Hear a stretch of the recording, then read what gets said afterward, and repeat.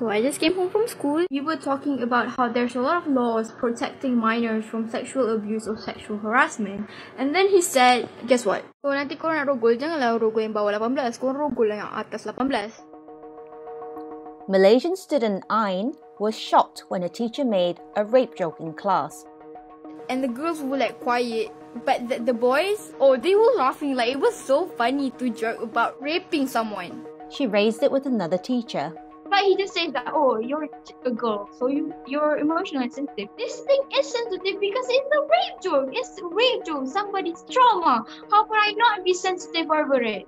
She called out her teacher's behaviour on social media, and many responded, supporting her stand against rape culture, even writing songs about it. Make school a safer place for every girl in Malaysia. It also prompted others to share stories of harassment and inappropriate behaviour in schools. We want to stop this here. We want to educate. We want to change. But there was also a backlash against her for speaking out. Some said she was making too big a deal of the incident. Responses also included inappropriate comments about her body.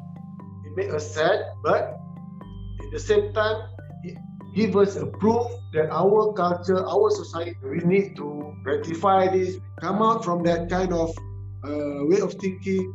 Then, a friend forwarded a WhatsApp conversation among her schoolmates which took the issue one step further. It scared me so much. I cried Ain and her father took the matter to the police, but their response only generated further controversy when a senior official referred to the issue as what may be a joke by her schoolmate.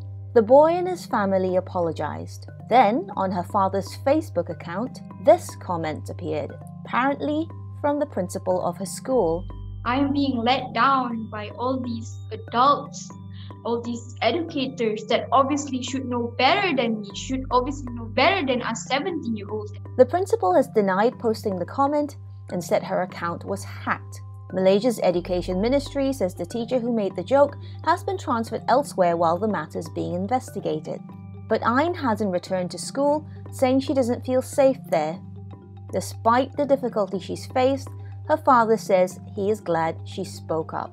This little girl that I brought up from a baby. Wow, she has this brave all this while in her. I cannot express how proud I am